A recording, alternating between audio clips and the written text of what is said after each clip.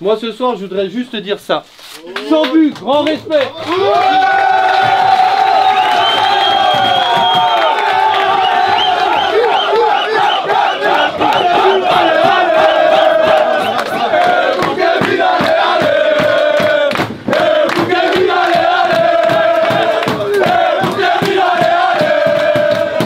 Ah je voulais vous remercier.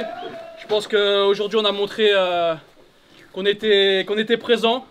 On a, souffert en première mi-temps, mais on a su réagir en deuxième mi-temps. Après, euh, Emma a fait le travail, a mis, euh, le, doublé. Et franchement, partir. On a gagné ce soir, mais il faut continuer comme ça. On sait que c'est pas facile le football, mais des moments comme ça, je vais en revivre encore jusqu'à la fin de saison. J'en veux encore les gars